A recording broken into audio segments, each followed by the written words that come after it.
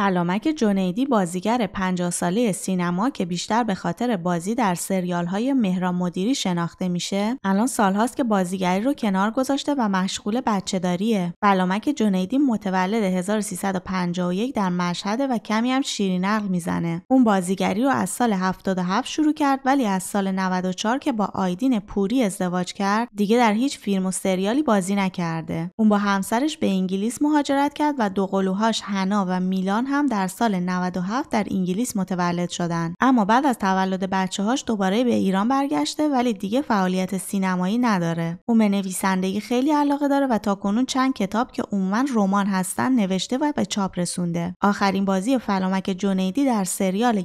های یک زن خانهدار بود که ظاهرا الان خودشم به همین شغل مشغوله